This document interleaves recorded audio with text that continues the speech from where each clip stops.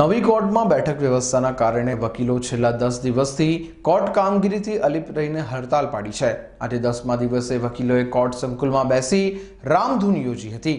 ઢોલક અને મંજીરા સાથે વકીલોએ વિરોધ દર્શાવ્યો હતો. નવી કોર્ટનું નિર્માણ થયા બાદ નવી કોર્ટ શરૂ થયાના પહેલા દિવસથી જ ત્યાં વકીલો માટેની બેઠક વ્યવસ્થા હંમેશા વિવાદમાં રહી છે. અગાઉ નીચે બેસી કામગીરી કરવાની સાથે હાલમાં વકીલો કોર્ટની કાર્યવાહીથી અગળા રહી પોતાની નારાજગી દર્શાવી રહ્યા છે. કોર્ટમાં બેઠક વ્યવસ્થા માટે વકીલો છેલ્લા દસ દિવસથી હડતાલ પર ઉતર્યા છે. વકીલોની હડતાલના કારણે કોર્ટ સંકુલમાં મોટી સંખ્યામાં પોલીસ બંદોબસ્ત ગોઠવી દેવાયો છે, જેમાં આજે વકીલોએ કોર્ટ સંકુલમાં રામધૂન યોજી હતી. વકીલોએ કોર્ટ સંકુલમાં જમીન પર બેસી ઢોલ અને મંજીરા સાથે રામધૂન કરી પોતાની નારાજગી દર્શાવી હતી. બરોડા બાર એસોસિએશનના પ્રમુખ હસમુખ ભટ્ટના જણાવ્યા અનુસાર વકીલોની બેઠક વ્યવસ્થા માટે કોર્ટમાં પૂરતી જગ્યા છે. પરંતુ ડિસ્ટ્રિક્ટ જજ સાચી માહિતી ચીફ જસ્ટિસને નહીં આપવાને લીધે આ મુદ્દો ટલ્લે ચડ્યો છે. વકીલો વિના ડિસ્ટ્રિક્ટ જજે કોર્ટ ચલાવવાની જે નીતિ અપનાવી છે તેનો અમે વિરોધ કરીએ છીએ. કોર્ટની કાર્યવાહી પર ખૂબ ગંભીર અસર થઈ રહી છે. છેલ્લા દસ દિવસમાં ચાલીસ હજાર કેસો બોર્ડ પર ચડ્યા છે અને તેમાંથી બે કેસોનો જ નિકાલ થયો છે. હસમુખ ભટ્ટે આગામી દિવસોમાં આ જ રીતે આંદોલન કરી અનોખા વિરોધ કાર્યક્રમ કરવાની ચીમકી ઉચ્ચારી હતી.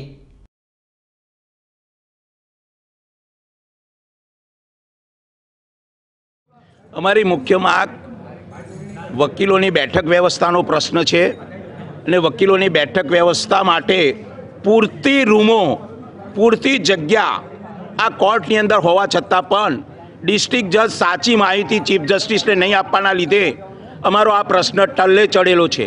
એને ન્યાય અપાવવા માટે કોર્ટની કાર્યવાહી શુદ્ધ રીતે ચાલે, વકીલો વગર જે કોર્ટ, વકીલ અને જજ એ બે એક જ સિક્કાની બે બાજુ છે. પરંતુ વકીલો વગર જે ડિસ્ટ્રિક્ટ જજે આ કોર્ટ ચલાવવાની જે નીતિ અપનાવી છે, તેનો અમે વિરોધ કરીએ છીએ. અને જ્યાં સુધી બેઠક વ્યવસ્થા નહીં થાય ત્યાં સુધી અચોક્કસ કોઈને કોઈ કાર્યક્રમ આપી અને આંદોલન ચાલુ રહેશે. જે રીતે નવ નવ દિવસથી વકીલ હડતાલ પર છે ખાસ કરીને મીડિયાએ પણ એની નોંધ લીધી છે કોર્ટની કાર્યવાહી પર શું અસર થઈ છે અસીલોની શું પરિસ્થિતિ છે? કોર્ટની કાર્યવાહી પર ખૂબ જ ગંભીર અસર થયેલી છે. ચાલીસ હજાર કેસો દસ દિવસની અંદર જે બોર્ડ ઉપર ચડ્યા છે તેની અંદરથી ભાગ્ય બે ટકા કે એક ટકા કેસનો નિકાલ થયો છે. અને રજિસ્ટ્રાર સાહેબ જે આ માહિતી આપે છે, એ બિલકુલ વાહિયાત, ખોટી અને પોતે જાણે અહમની અંદર આવી ગયા હોય એવી રીતે આપી રહેલા છે.